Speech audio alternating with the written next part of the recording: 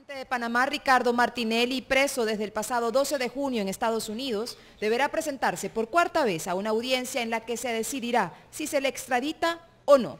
En la audiencia de este 3 de agosto, los abogados solicitaron que se traslade al exmandatario a otra prisión, al Centro Federal de Miami. Pero el juez no decidió al respecto y solicitó más tiempo para documentarse sobre la vigencia de la aplicación del convenio de extradición sobre delito cibernético entre Panamá y Estados Unidos. Martinelli es reclamado por la Corte Suprema de Panamá por cuatro delitos relacionados con una red de escuchas ilegales que funcionó cuando era presidente.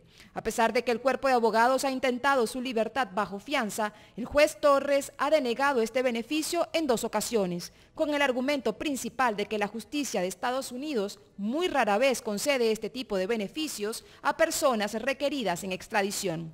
Sin embargo, la defensa ha insistido y recurrió a la Corte Suprema de Justicia de Estados Unidos, que también dijo no. Entre tanto, el portavoz de Martinelli, Luis Eduardo Camacho, ha asegurado que el expresidente está preparado mentalmente para un proceso largo de como mínimo un año y para pasar todo este tiempo en prisión.